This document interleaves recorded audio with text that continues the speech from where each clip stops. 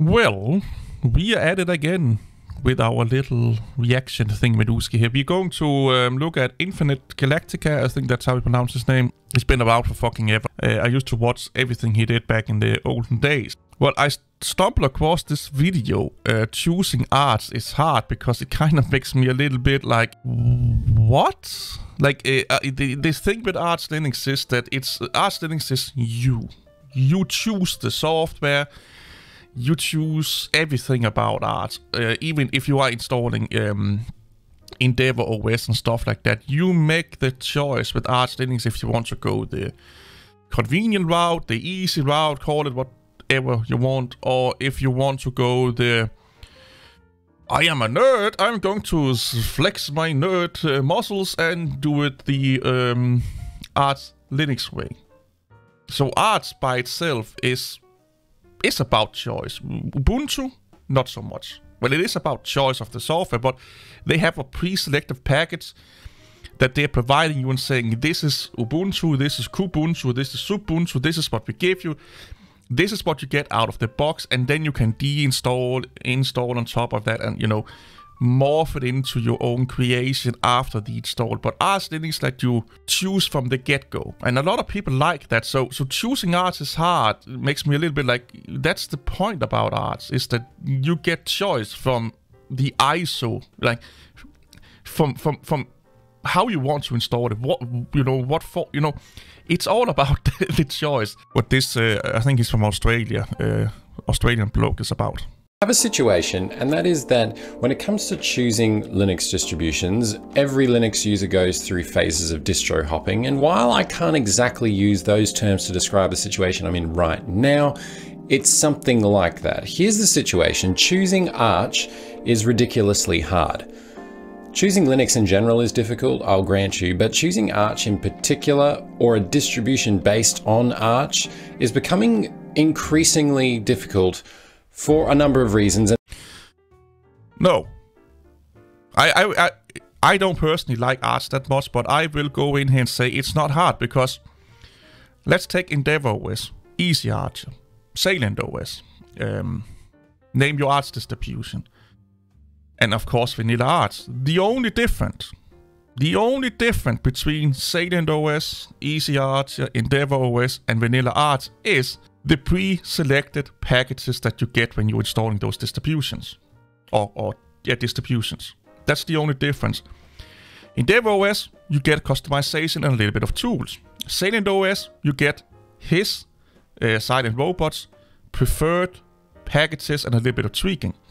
Easy Arch, you get Arch with his selected packages. The Arch, the Arch way, you choose the package you want to install. That's the different part, difficult part apparently. I don't get it. it, it, it choosing a, a Arch Linux distribution is just which package do you like the best. It's like you know choosing an accessory package for your car. You get the stock standard car, that's Arch Linux. I want the sports upgrade. That could be um, Salient OS. No, I, I want the uh, comfort upgrade. That could be uh, Endeavour OS.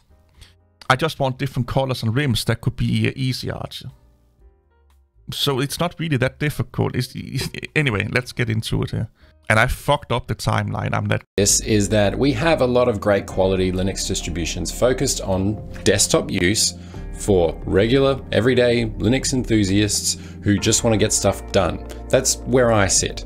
I am not a uh, somebody that has to work professionally in IT. Then Arch Linux is not for you. I'm not a software developer, and at this point, many of you might click away. I'm a casual gamer. I Arch Linux is not for you. I know a lot of people want Arch Linux to be a casual Ubuntu user group target distribution. Arch Linux is not for the casual crowd.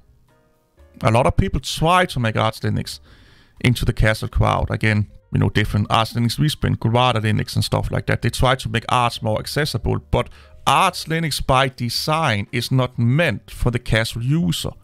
No matter how much you try to take a, a, a square or let's say a rectangular shape and put it into a square hole, they will never fit. You can never make Arch Linux into a modern day convenient, easily accessible operating system because by DNA, it's not meant to be like that. That's why Manjaro is forking Arch and it's not Arch Linux because they are modifying it so much to make try and put a, a, a triangle into a square hole. And let's be honest, Manjaro is not the easiest or most convenient uh, distribution out there. It still have a lot of inherent design problems that it has this uh, inherited from Arch Linux. Because it's by design, it's not meant to be what he's just talking about. I do a bit of video editing and I'm a high school teacher, so I do some of that sort of stuff. And when it comes to what I need out of a Linux distribution has mostly been served by Ubuntu and Debian based distros, with a little bit of Fedora along the way. So I figured it was time to jump back into the world of Arch because honestly, my terminal commands in the Arch Linux space are getting very rusty indeed. So what I thought I'd do is I'd... That should not, like, unless you're an IT professional that are working with Arch Linux in a professional environment, if your skill in a distribution gets rusty, it's not that big of a deal.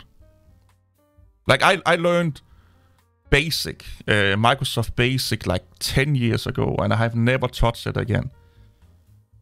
I, I, probably can't even do Hello World in Microsoft Basics, okay? Is that a problem?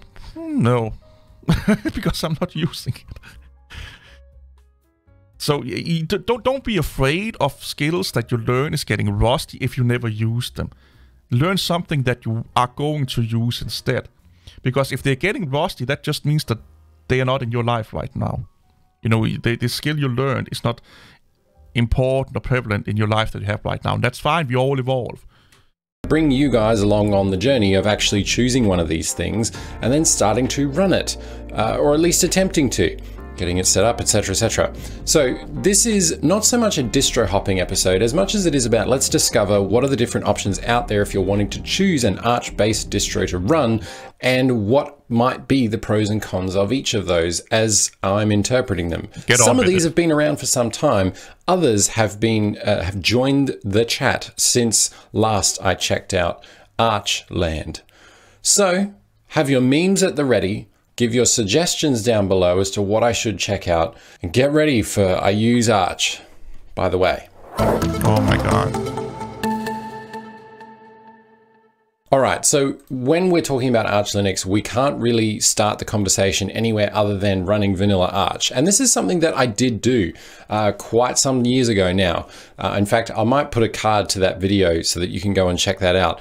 But Arch Linux, uh, by its own description, is meant to be a simple, lightweight, minimalist distribution. And I, I would go, I would cut in here because a lot of people, they, they misconstrue this. Lightweight, weight, and flexible Lightweight and flexible. That's what you get with the vanilla ISO. You make the choices. Simple. Don't mean easy. Complicated can be simple. Simple basically just means that you're not getting 10,000 uh, choices to do the same thing. They kind of are like, this is how you configure Arch, this is how you run Arch, this is how you maintain Arch. They don't give you like 10,000 different fucking ways endorsed by the developers, by the way. You can still download tools that can give you 10,000 different ways of doing things. But by default, you are not getting 10,000 config files to configure um, the host name and stuff like that. They try to keep the configuration and the running of Arch Linux simple. That uh, that is very much build your own adventure. And mm-hmm. uh, and many would argue that this is the way that Linux is meant to be done. No. Uh, now, no, no, no, no. I, I, the only people I've heard that say that about Linux is Arch Linux users. Linux was was not meant to be build your own adventure. Lin, Lin, again, a lot of people tend to forget this. Linux was meant was built by a high school fucking kid that couldn't afford Unix but needed and wanted a Unix-like system to use at home for work in, in university and stuff like that. So he built Linux. Not to spread the word of open source or outcompete Microsoft or anything like that. It was built to uh, basically outcompete Unix and it has already done that. So it actually have reached the goal that was intended for Linux. Nowadays, though, Arch Linux is more known for a slightly more elitist uh, user base and Massive. possibly one of the greatest innovations that we have in the open source packaging software world, and that is the Arch user repository. No, no, no, no, no, no, no. There's there, there's nothing like massively um, uh, how can I put it? Technically and advanced about the AUR. It functions a little bit like I think it's ports on the uh, FreeBSD. It's basically just scripts. Downloading a script file and running a script file to either compile or compress or when has been I don't mean compress, I mean uh, recompile or reformat a package format. Nothing really advanced with that. OpenSUSE I have it. A lot of this, I think Fedora have something like that also. And it's not that great. It doesn't have a massive amount of software. Yes. Back in the day, this was one of the best ways to get hard to get software installed on your system. Yeah. Uh, because it basically streamlined the whole building from source hassle. No, no, no. Like I said before, what they do with the AUR, and a lot of people tend to forget that you can either build it from source. What people most of the time does, and this will maybe make a little bit people angry because they don't know this. They take a deb file and convert it to a, a native Arch Linux package format. Or they take an RPM file. So when you're saying that us, the AUR, have more software than any other distribution, it may have more packages. But I will suspect that 99.5 eh, whatever percentage of those packages are just deb files and RPM files, meaning that Debian distribution or deb file based distributions have access to 99% of the same packages, or RPM have access to the 95% of those packages. Because if you look at actually what they're doing, a lot of time they're just converting deb files or RPM files. A lot of time, especially with the more popular software. The more obscure, you know, this is made by Bob in his basement, why the dog is digging his asshole, may be compiled from source.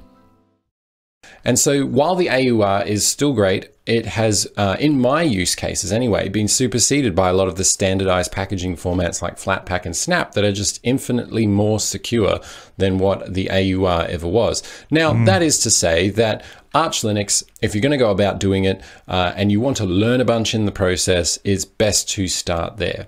And uh, my my suggestion would stand true for any other large distribution which has a lot of derivatives. All of these big distributions that have been around for a long time are well established for a reason. However, derivatives exist, and there are lots of good ones in the Arch space. I do want to give an honorable mention to Manjaro, but honestly, in my book anyway, Manjaro is not really an arch base. Not in his book. And this is where a lot of people get fucking frustrated. I will put it up here because I have it. The word, you know, the, the, the word that comes out from the developers of Arch, Manjaro, sorry, Manjaro, they themselves say that it's not an Arch Linux distribution. So he's actually right here. It's not in his opinion, it's in the official opinion of the official developers that Manjaro is not Arch Linux. And you can debate the fuck you want. You are wrong if you say Manjaro is Arch Linux. You, you are categorically, scientifically proving wrong. Distro anymore. Uh, I think there is some shared heritage there. It, it has never been an Linux distribution. Again, the word for the Manjaro developer's mouth. There, and at one point, Manjaro definitely derived its uh, package base and the rest of it from Arch. It and while does. an argument could be made that this still happens, Manjaro is very much its own project now, and yeah. it runs. So he hasn't read up about. This is what I hate about a lot of people when they're trying to make informative videos. They don't inform themselves. What Manjaro does they do exactly what Ubuntu is doing. They're they're taking the, the Arch space, modifying it, modifying the packages, testing the packages, and putting it into their own repo. That's why when you're running Manjaro, you don't get you don't have to do a lot of the same manual interventions like you're doing with Arch Linux because they are making sure that you don't have to by modifying the packages when they're coming into the Manjaro repos. But they are using Arch as a base. And then they are taking the packages there, modifying it, messing with them, tinkering them, poking them. So they are not really the native Arch Linux packages anymore, but they use it as a base. It's exactly the same that Ubuntu is doing with Debian. Firefox in Ubuntu may be different than Firefox in, Arch, in, in Debian. Can you install the Ubuntu package and not the Debian? Probably yes.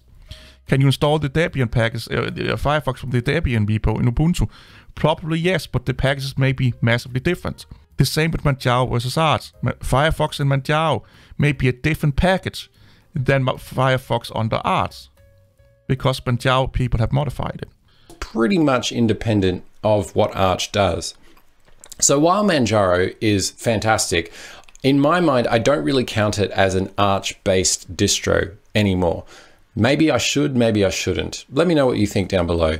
Uh, but here are some of the other ones that I've picked up on since uh, checking out in Archland. Um, one of the ones that caught my attention in 2020 was oh. Garuda Linux. So Garuda Linux seems to be an Arch-based distribution. I can rant about how wrong and how fucking stupid Garuda Linux or Garuda Linux is for hours. I have videos about it. Go to my video page, click the little um, magnifying glass, and then search Garuda, Garuda Linux, or however the fuck you pronounce it. I have rants about how this distribution is doing everything fucking wrong almost. Is it an Arch-based distribution? I would say yes. With a really nice implementation of the different desktop environments, and you can kind of take your pick as to which ones you prefer. And it also has quite a few little optimizations and tweaks along the way to optimize gaming, probably which are giving the end user base a lot of problems. More so than others. Uh, but it also has a, a, lot of little tools that make it really easy to manage some of the headaches that come with an Arch-based system. So if you want to have a little bit more control over what your AUR installs are doing, you can do that. If you want to have a little bit more control over what your uh, over what your Arch system is doing. And it's taken a few cues here from Manjaro in terms of managing. It's not taking a few cues. It's basically taking the this you see here. The, the settings manager is just a rebrand of Manjaro settings manager. Hardware drivers, kernels, etc. It gives you graphical tools to get those things done, which I appreciate and it gives you a fantastic suite of software to get going with Linux gaming, which I think which is really massively inconsistent in the way it gets for tooltips and stuff like again I could is again really really helpful for the right person. Now, for me personally, where do I rate this particular distribution? Oh, shout out to the Linux Zen kernel as well. Basically, a, a, just an optimized version of the Linux kernel. No, it's optimized for a specific use case, but it's not optimized for, for general desktop use.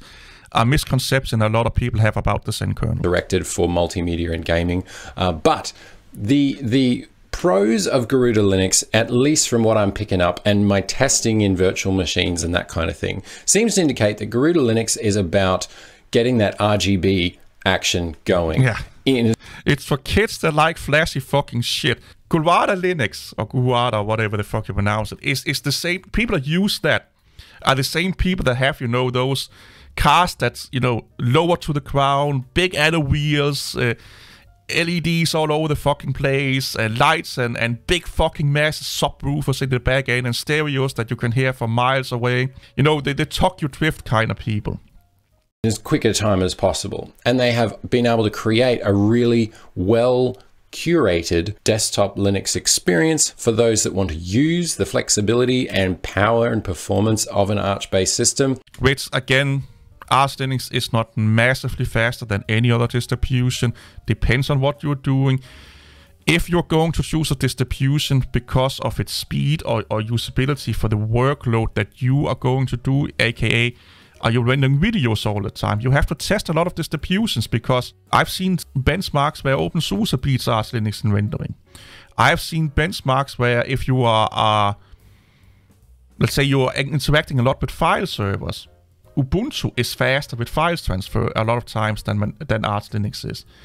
If you want optimal performance for your most use case workloads, you have to test distributions to see which one is actually optimized for. And a lot of times, it's all over the place. It's not Arch is just universal, the fastest. Fastest. It was 15 years ago. And apply it to the gaming world. Uh, so Garuda Linux, it looks really nice, and it definitely has that it's got a look, and the look is pretty darn good if you're into that kind of thing. Damn good. All right. On. Another one that is, uh, I don't really know if I can describe it as a Arch-based distribution it's because not. while there is a list provided by the fabulous Arch Wiki about uh, active distributions based on Arch, and there's a bunch of them. Some of these, I don't know if I would count them as Arch based anymore. For example, Car OS or Chaos or Yeah, that, that's that. Again, it says here it's it's an independent distribution. That means that it's not forked off anything. It's not based on anything. It's just using the Pacman package manager. So yeah, it's not an Linux distribution. I don't really, I'm not really sure how you pronounce half of these things, but uh, Chaos, Chaos, I'll call it Chaos for now. Chaos. is a, uh, a KDE Plasma desktop. This distribution was at one point based on Arch, but nowadays it is independent, kind of in the same way that Manjaro is. But Then it's take it out of the fucking uh, equation. let me make one thing clear: Chaos, Chaos is a very different beast to anything like Manjaro. Uh, it is basically trying to be the best I, I don't know what he's talking. Like I, I I'm going to, to to skip this because he just said himself that it has nothing to do with Arch Linux. Why the fuck do you have it as as a option to choose Arch Linux? It, is this this dude is a teacher? I'm I'm really um, yeah. Let, let's go into the next one here. Endeavor OS. In my opinion, Endeavor OS is up to now is the only real Arch distribution that he's shown us. Meaning that if you want to choose Arch Linux beside the native uh, um, vanilla Arch ISO, you have Endeavor OS. Now, the one that everybody seems to be buzzing about most of all is Endeavor OS. And this is something that Uh, amazing OS, amazing community. I love this distribution. uh, there was, there back in the day, there was a community distribution uh, that was a spin off of Arch called Antergos. Antergos. Uh, and that distribution was a fantastic project that a lot of people really loved. Clearly, not a lot, not enough people loved it because it went away eventually. Um, and obviously, there's probably more to the story there than what I have um, dreadfully oversimplified that as. But uh, a lot of the community that really enjoyed Antergos created Endeavor OS, I think in 2019. Could be wrong again about that. Um, but they have uh, carried the torch on in creating a, uh, a terminal based, terminal centric, Arch based distribution, um, but given it a few more features and buffs to make it a little more approachable and, uh, and easy to get going. So, a custom implementation of the Calamares installer makes it very easy Again, like I said, this is the only real alternative to vanilla Arch that he's shown us. Easy to get up and going with whatever window manager you want to choose.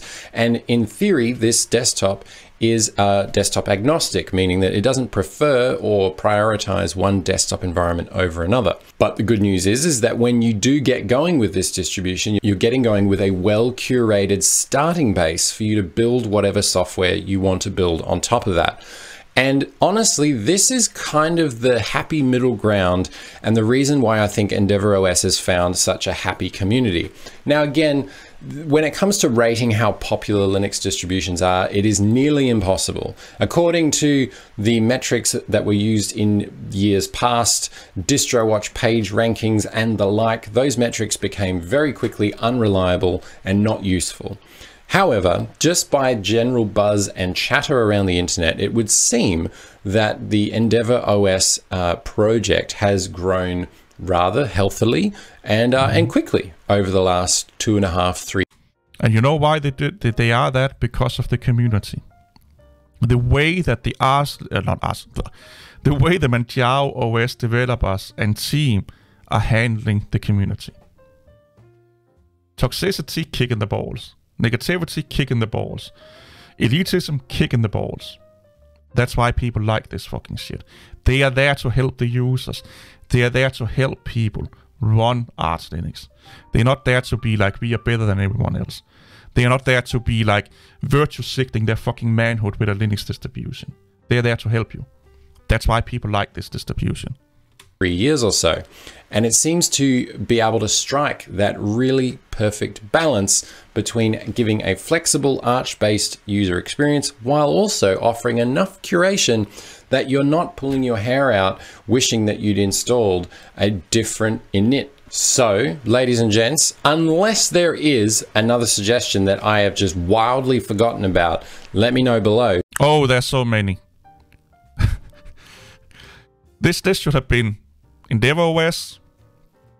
Uh, OS could be in there. EasyArch could be in there. Antex, I think it's called, could be in there. Uh, uh, Arcolytics could be in there. Just go on. What he should have been done, go on to DistroWatch and, and set based on Arch Linux and then actually read researched the distributions that he's talking about.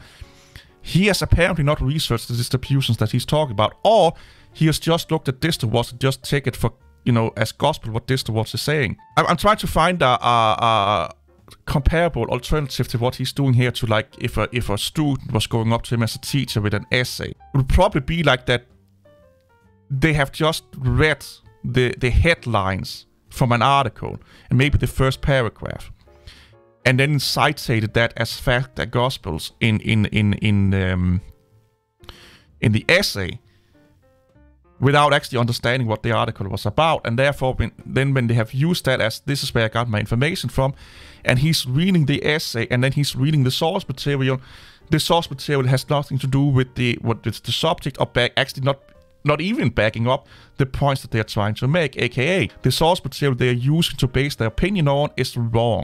I think this is the one that I'm going to start experimenting with. As you can see, I've got the image up and running here in boxes, and I do plan on experimenting with well, Endeavour OS a little here? bit further in boxes in a virtual machine, and then I'm yeah, going. Oh, okay, then, then he's going over the. I don't understand the point of this video.